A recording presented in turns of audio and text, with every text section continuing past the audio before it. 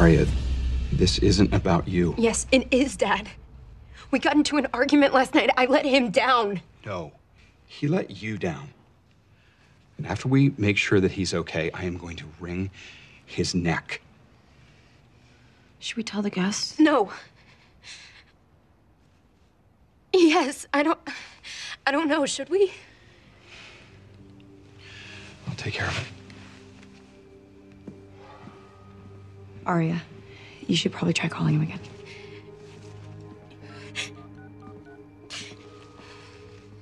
Ezra, I know that you're there. Please pick up. What is going on? Why isn't Ezra here? Ezra sent Aria a text. He's not coming.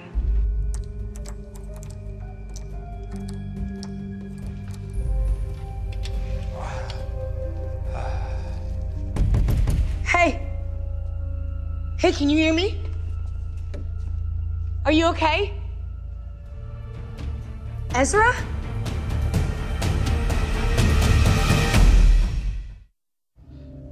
I was making the reservation you suggested, and when I thanked her for the information, she seemed confused, like she didn't know what I was talking about. So, out of concern, I followed her out, and when I pressed her for answers, she just turned and just gave me this death stare, and that was the last thing that I remember. Are you okay?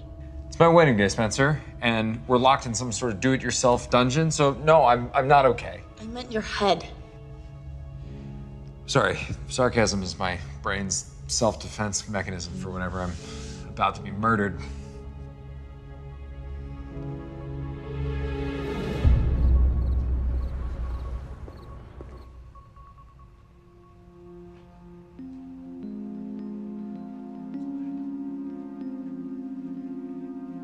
That was Spencer. She's gonna swing by the apartment and get you something to wear. My mom's sleeping over, so we're gonna stay with you, okay? Aria?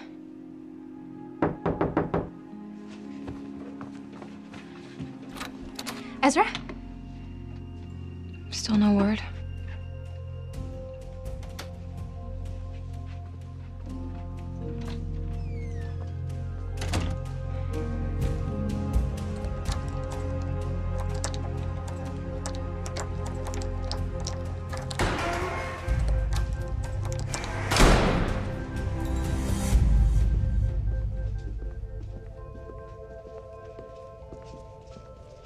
Hello, sister.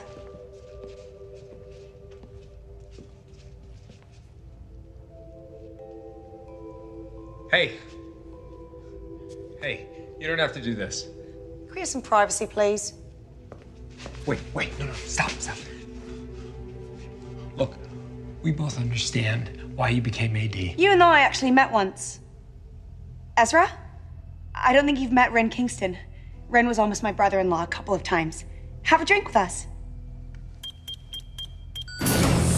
No, stop, stop! Look, he's right. You don't have to do this. You became AD because of Charlotte. I understand that, and my friends will too. Okay, they'll forgive you just like we forgave Mona. sort of. This isn't just about you wanting my friends. It's about Toby, isn't it? He's settled for Yvonne. We both know that. And now, he's free to be with his one true love me. So then what's gonna happen now? You can't just keep me here forever. Of course I can. And you have Mary to thank for that. She saved you at the blind school and she's saving you now. So that wasn't just Jenna and Noel, that was you and Sydney. Sydney!